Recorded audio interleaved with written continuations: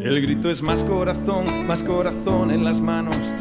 Queridos hermanos, muy queridos de la provincia española, en Argentina y en España. Un saludo muy cordial en la proximidad de la celebración de la Inmaculada. Es tradición, lo han hecho siempre en nuestra historia de la Orden, renovar los votos, renovar nuestro compromiso, nuestra consagración, recordando aquella primera profesión de Camilo de Lelis, nuestro santo fundador. Yo esta vez quisiera invitaros, como me invito a mí mismo, a que sepa este rito y esta celebración tenga sabor de renovación, de una vez más comprometernos a vivir según los consejos evangélicos.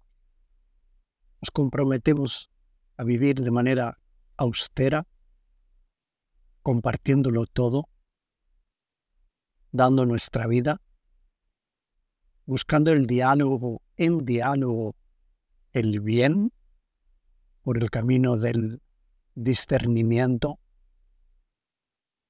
y viviendo impregnados por un amor que se traduzca en fraternidad y en servicio. Todo esto alrededor de nuestra pasión por el mundo de la salud y del sufrimiento humanos. Qué bien poder celebrarlo. Celebrar que renovamos nuestros compromisos porque a la luz de la historia de la orden, esto nos puede hacer felices, como ha hecho felices a tantos caminos que nos han precedido a lo largo de la historia de la orden.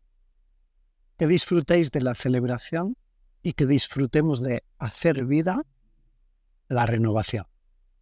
Un abrazo con mucho cariño.